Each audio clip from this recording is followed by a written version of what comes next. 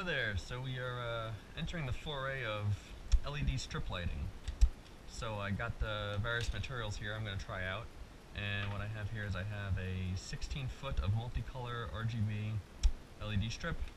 And I got this uh, controller module that comes with a remote control and 9 volt battery supplied by me. And I got these uh, battery clips for the 9 volt battery. So the plan is we can do this then the LED controller, and these seem pretty standard uh, compatible connectors like so.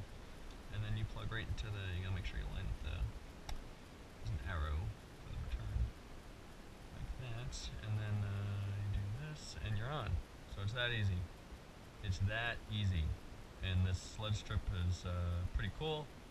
The controller, it's got um, uh, cycle the colors, cycle the speed of the color change, there's different modes you can do, there's brightness levels, put brightness, see that?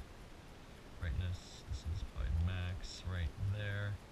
Um, cycling the colors like that, this is fantastic. I'm, I'm kind of shocked, I haven't kept my eye on this stuff too much, but I'm kind of shocked how easy this is and how cheap.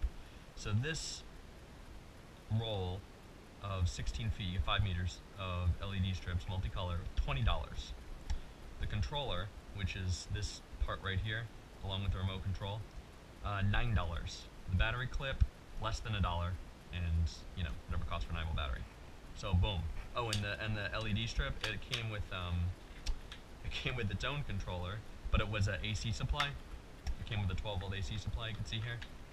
And came with its own remote and its own controller um, controller device. So yeah, so I'll try this one out later. But I, I wanted the thing to be portable to run off the 9 volt battery, so that's why I picked up this extra extra piece as well, the battery clip with the uh, 9 volt controller. This controller, you can see it's rated. It says it's rated from 5 to 24 volt input. That's where I got it.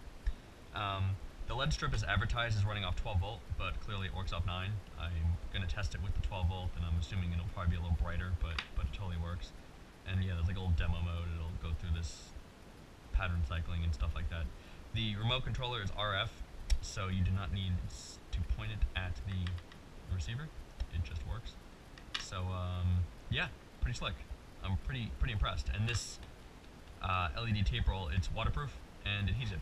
So you know, tons of potential applications.